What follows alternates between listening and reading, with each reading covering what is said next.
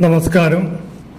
ശനി കുംഭം രാശിയിലും വ്യാഴം മീനം രാശിയിലും നിൽക്കുന്ന കൊല്ലവർഷം ആയിരത്തി ഒരുന്നൂറ്റി തൊണ്ണൂറ്റിയെട്ട് മീനമാസം മുപ്പത്തി ഒന്നാം തീയതി അതായത് രണ്ടായിരത്തി ഇരുപത്തി മൂന്ന് ഏപ്രിൽ പതിനാല് വെള്ളിയാഴ്ച പകൽ രണ്ട് മണി അമ്പത്തെട്ട് മിനിറ്റിന് മകരക്കൂറിൽ തിരുവോണം രണ്ടാം പാദവും കൃഷ്ണപക്ഷ നവമി തിഥിയും ആനക്കരണവും സാധ്യനാമ നിത്യോഗവും കൂടിയ സമയം.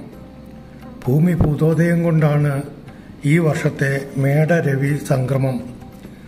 സംക്രമവശാൽ മൂലം നക്ഷത്രക്കാർക്ക് അനുഭവത്തിൽ വരാവുന്ന ഫലങ്ങളെക്കുറിച്ചാണ് ഈ വീഡിയോ.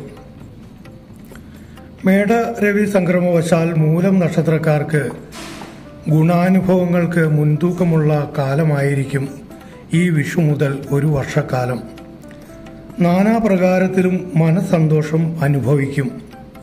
സമൂഹത്തിൽ ബഹുമാന്യതനാകും പൊതുരംഗത്ത് പ്രവർത്തിക്കുന്നവർക്ക് അംഗീകാരങ്ങൾ ലഭിക്കും. മനസ്സിൽ ആഗ്രഹിച്ചിരുന്നത് പലതും സാധിച്ചെടുക്കാൻ ഈ കാലയളവിൽ കഴിയും.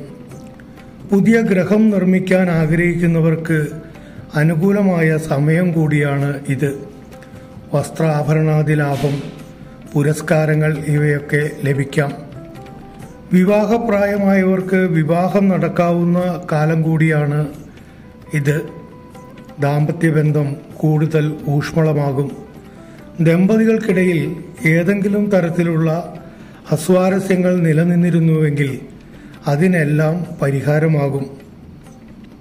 കുടുംബത്തിൽ സമാധ സമാധാനാന്തരീക്ഷം പുലരും. മാതാപിതാക്കളുമായുള്ള ബന്ധം കൂടുതൽ മെച്ചപ്പെടും. പുതിയ തൊഴിൽ തേടുന്നവർക്ക് മികച്ച അവസരങ്ങൾ വന്നു ചേരും. ജോലിയിൽ സ്ഥാനക്കയറ്റത്തിനും അവസരമുണ്ടാകും.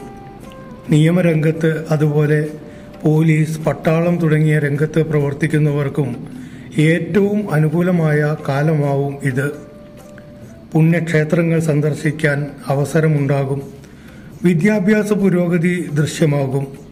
സഹപ്രവർത്തകർ പങ്കാളികൾ എന്നിവരിൽ നിന്ന് നേട്ടങ്ങളുണ്ടാകും. പൊതുവെ പറഞ്ഞാൽ മൂലം നക്ഷത്രക്കാർക്ക് രണ്ടായിരത്തി ഇരുപത്തി മൂന്നിലെ വിഷുഫലമനുസരിച്ച് ജനനേതൃത്വം മേലധികാരികളുടെ പ്രീതി അധികാരപ്രാപ്തി സുഖം എന്നീ ഗുണഫലങ്ങൾക്ക് ആധിക്യമുള്ള കാലമായിരിക്കും. മൂലം നക്ഷത്രക്കാർ സദ്ഫലങ്ങൾ അനുഭവത്തിൽ വരാനും ദുരിതാനുഭവങ്ങൾ അകലാനുമായി ഈ കാലയളവിൽ ഗണപതി ക്ഷേത്ര ദർശനവും വഴിപാടുകളും നടത്തി പോരണം. എല്ലാ മൂലം നക്ഷത്രക്കാർക്കും സമ്പൽ സമർത്ഥമായ ഒരു വിഷു ആശംസിക്കുന്നു. നന്ദി നമസ്കാരം.